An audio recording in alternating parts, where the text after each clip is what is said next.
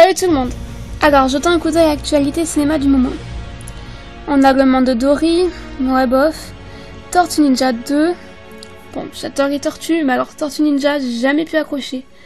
Peut-être parce que je suis née après l'essor de la série. Ensuite, euh, Conjuring 2. Ah ça, ça me botte un peu plus. Mais le problème, c'est que les deux personnages principaux ont vraiment existé et qu'ils ne sont pas fictionnels. Bon, ben, je me servais du prétexte de la sortie prochaine du second The Adaptator portant sur les pointeurs pour vous parler d'un de mes personnages favoris, Clay McLean.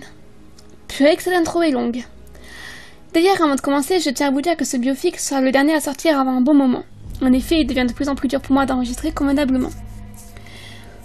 Vous vous en êtes sans doute rendu compte en vue du son plus que passable du biofic précédent. Les vacances scolaires arrivant, ce sera encore plus dur d'enregistrer. Du coup, plutôt que de continuer à vous fournir 4 biofix supplémentaires discutables en qualité et moins bien travaillés, je préfère mettre en pause l'émission jusqu'à la rentrée. C'est parti pour Grey McLean. Bon, je sens que comme pour la Reine Rouge, ça va être dur d'avoir toutes les infos. Moment, je ne trouve rien sur ce personnage. Du coup, je vais faire ce biofic non pas à partir de recherches internet, mais sur mes souvenirs des livres. Du coup, même si je vais évidemment vérifier ce que je dis en relisant les passages en question, il est possible que je me trompe. Si c'est le cas, n'hésitez pas à me le signaler dans les commentaires. Alors, Grey est un personnage de la saga de l'épouvanteur, saga de livres écrite par Joseph Delaney au début des années 2000, qui continue encore de nos jours. En France. Si les bouquins ont fini de sortir, en Angleterre. Il s'agit d'une saga horrifique et gore se passant dans un monde moyenâgeux. Dans ce monde, des créatures de l'obscur peuplent la Terre, comme des sorcières, des gobelins, des fantômes. Et les épouvanteurs ont comme tâche de détruire ces monstres pour protéger les innocents. Oui, comme dans Supernatural. Sauf que Supernatural se déroule dans notre monde et qui ne se prennent pas du tout au sérieux. Grey McLean est très probablement née au sein de Pendle, la colline où se trouvent les trois clans principaux de sorcières. Elle est très probablement venue au monde dans le village de Clochobof, le village des McLean. Alors oui, les sorcières de Pendle sont divisées en trois clans, les McLean, les Diane et les Mondale. Et comme pour les histoires de mafia dans les films, elle se tient dans les pattes et passe leur temps à se chercher des noises. Kay McLean naît en tant que sorcière. Alors qu'elle est enfant, elle développe une haine grandissante pour le malin. Elle ne le vénère pas et ne tente pas de l'approcher lorsqu'il passe le portail au sabbat d'Halloween. Elle est très jeune quand elle décide de le tenir éloigné d'elle. Il n'existe qu'un seul moyen pour le tenir à distance quand on est une sorcière. Lui faire un enfant. Une fois que le malin voit l'enfant, il laisse la mère tranquille. McLean met au monde un petit garçon. Par miracle, l'enfant est normal. Il ne s'agit pas d'un semi-homme ni d'une sorcière. Maclean est envahie par le bonheur d'être mère. Mais la visite avec le malin ne se passe pas comme prévu. Voyant que l'enfant est normal, il le tue sauvagement. Encore une fois, pour que la vidéo reste au public, je vous passe les détails gore. La douleur d'avoir perdu son enfant la rend folle pendant des jours entiers. Elle commence peu à peu à se forger un esprit de vengeance. Elle prévoit un plan complètement fou. Tuer le malin. Elle a alors 17 ans. Elle se met à forger ses propres lames, à s'entraîner, à s'endurcir. Elle sait qu'il est rare qu'il ne se montre pas pendant le sabbat d'Halloween. Alors que la fête passe en plein chez les sorcières et que le malin commence à apparaître, elle fonce vers les flammes du portail et attaque avec trois poignards. Elle parvient à blesser le malin, mais pas à le tuer. Forcée de fuir, pour ne pas se faire tuer, elle s'éloigne de Pendle. Les sorcières sont envoyées à ses trousses. Elle les tue toutes. Puis elle décide de devenir la tueuse en titre des McLean, la plus redoutée de toutes. Avec deux autres sorcières, elle se présente en tant que prétendante pour prendre la place de la tueuse actuelle, Kernold ou Kernoldi. Elles doivent l'affronter jusqu'à ce que mort s'en suive. Elle décide de s'entraîner seule de son côté et se prépare au combat. Elle se bat contre Kernold dans la combe aux sorcières, l'endroit où sont déposées les sorcières après leur mort pour leur permettre de revenir. Le combat est rude, mais elle parvient à tuer Kernold et devient la tueuse attitrée des Maclean. Le temps passe et elle gagne très vite une effroyable réputation. Elle devient la hantise des des Maclean. Elle est connue pour avoir son propre code d'honneur et aime tuer les personnes qui lui résistent. Elle est aussi connue pour torturer ses victimes avec ses ciseaux. Alors que les sorcières tentent de ramener le malin sur Terre, McLean est envoyé par McLean pour tuer le personnage principal de la saga, Tom Ward. En effet, malgré son jeune âge, Tom est considéré comme une menace.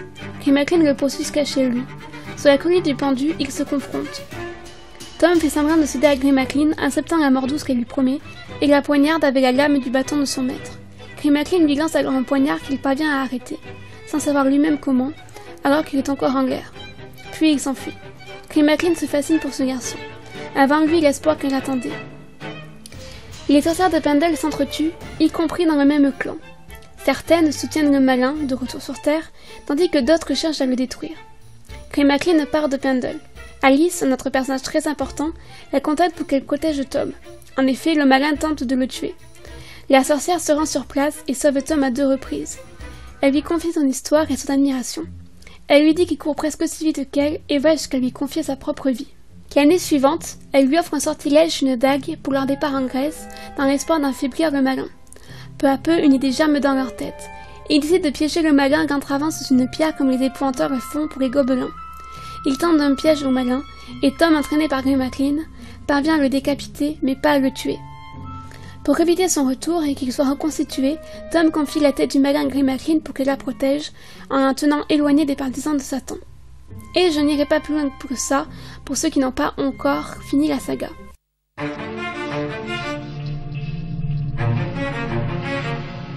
Grey signe les endroits où elle se rend en gravant une paire de ciseaux dans les arbres. C'est un message qu'elle envoie pour dire à ses ennemis que si jamais ils croisent sa route, ils auront affaire à ses ciseaux. Contrairement à la grande majorité des sorcières de l'épouvanteur, Grey McLean est décrite comme ayant une beauté sauvage. Les autres sorcières ont un physique disgracieux, voire bestial. Elle porte les os de pouce de ses victimes, qu'elle a tranchées avec ses ciseaux autour de son cou, et se teint les lèvres en noir. Pour pouvoir courir, elle porte une robe ouverte en deux, qu'elle tient fermée grâce à des lanières de cuir, ce qui est complètement impossible à reproduire en vrai. Elle va faire ce que personne n'avait fait avant elle, prendre un apprenti pour lui succéder, sachant que cela implique que sa jeune apprentie la tue. Alors qu'elle est présentée comme une méchante, elle devient au fil des livres une alliée indispensable. Sans elle, les héros seraient morts un bon nombre de fois. Elle a été élue personnage favori par les fans de la saga. Le neuvième tome, Grey McLean et l'épouvanteur, n'est pas raconté par Tom, mais par Grey McLean. En anglais, le neuvième tome s'appelle I Am Grey McLean. La première fois qu'on la rencontre, elle est simplement assise autour d'un feu.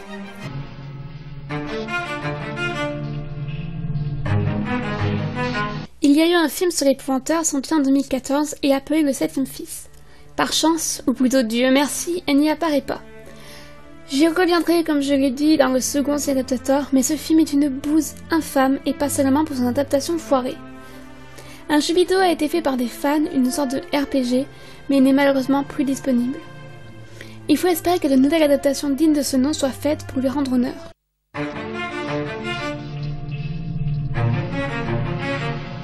McLean fait sa première apparition dans le quatrième tome, le combat de l'épouvanteur. Elle est alors considérée comme la méchante. Elle offre tout un chapitre de terreur s'imposant même face au malin. En effet, on sait que le malin poursuit Tom, mais que les sorcières ont aussi envoyé Grey McLean pour le tuer. Dans un premier temps, on craint Grey McLean et ce que cette sorcière peut lui faire. En effet, depuis le début du livre, on sait qu'elle est présente grâce aux ciseaux qu'elle a gravés dans un arbre. Et elle est réputée pour torturer ses victimes. On apprend ce qu'elle pourrait faire à Tom, on ne la connaît que par sa réputation et les dires des autres personnages. Elle réapparaît dans le tome suivant, l'erreur de l'épouvanteur. Une fois encore, on la craint, mais elle devient vite une alliée. Elle revient dans le sixième tome, le sacrifice de l'épouvanteur. Je n'ai pas le souvenir qu'elle soit présente dans le septième. Elle revient dans le huitième, le dessin de l'épouvanteur, dans le neuvième, où elle devient le personnage principal. Dans le dixième, le son de l'épouvanteur. Dans le suivant, le pacte de Slader. Et dans le dernier en date, Alice et l'épouvanteur. Elle fait de nombreuses apparitions dans les hors-séries. On la trouve dans le bestiaire de l'épouvanteur et dans une nouvelle appelée simplement Grey McLean, dans Les sorcières de l'épouvanteur. Elle fait aussi une apparition dans une pub pour le neuvième livre. I am Grimalkin, the witch hunter. The hunter who has become the hunted. The creatures of evil are closing in on me. For what I carry in their hands could unleash all hell on earth.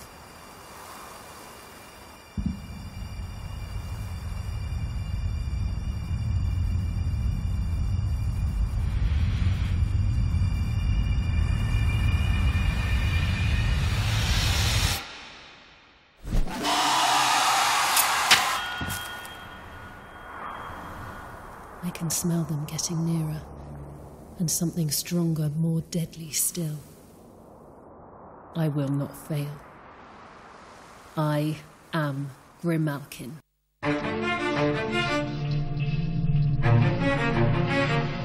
Alors, normalement, je suis censée vous parler d'une théorie concernant le personnage.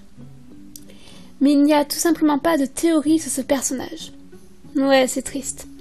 Et les autres théories autour de la saga ont toutes été résolues en dehors d'une seule. En effet, beaucoup de théories étaient faites sur les parents d'Alice ou sur la mère de Tom, qui sont gentils dévoilées et que je ne vais pas m'amuser à vous spoiler. Quoique le spoiler sur l'identité de Maman Ward est fait dans le film, et mal en plus. Sérieux, je hais ce film. D'ailleurs, par rapport à Maman Tom, je trouve absolument génial que la première fois qu'on la voit telle qu'elle est, ce soit dans un cauchemar. Et aussi le sous-entendu qu'implique le deuxième nom de Tom. Pour ceux qui l'ont raté, relisez la lettre du sixième livre et retrouvez le passage où l'on donne le second prénom du héros. Et faites le lien entre les deux. C'est du génie. Et si vous ne l'avez pas trouvé ou pas compris, tapez le deuxième prénom sur Wikipédia et lisez la biographie de ce personnage. Bref, je vais vous parler d'une théorie qui vient de moi. Oui, comme je l'ai dit, je n'ai rien trouvé sur internet à part des skyblogs ou des blogs plus du tout à jour. Chaque livre commence par ce poème. Le point le plus élevé du comté est marqué par un mystère. On dit qu'un homme a trouvé la mort à cet endroit au cours d'une violente tempête, alors qu'il tentait d'entraver une créature maléfique menaçant la terre entière. Vint alors un nouvel âge de glace. Quand il s'acheva, tout avait changé, même la forme des collines et le nom des villes dans les vallées. À présent, ce sont plus au sommet des collines, il ne reste aucune trace de ce qui y fut accompli, il y a si longtemps. Mais on en garde la mémoire. On l'appelle la pierre des. Le passage qui m'intéresse, c'est celui sur la fin de l'âge de glace. On peut alors se demander quand se déroule l'histoire, à quelle époque? On sait par l'intermédiaire de l'épointeur qu'il y a bien longtemps les épointeurs n'existaient pas, parce que les créatures de l'obscur restaient dans l'obscurité. Ils n'étaient pas dans notre monde.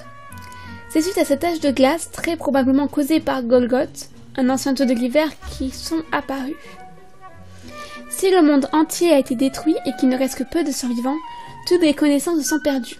Du coup, est-ce que l'histoire se déroule dans notre monde, mais dans le futur? Notre monde aurait été détruit par Golgoth et tout ce que l'on avait bâti aurait disparu au fil des siècles. On serait revenu dans un monde vénéval. Le nom de Ward, cette fameuse pierre, pourrait signifier qu'un ancêtre de Tom était lui-même une sorte d'épouvanteur.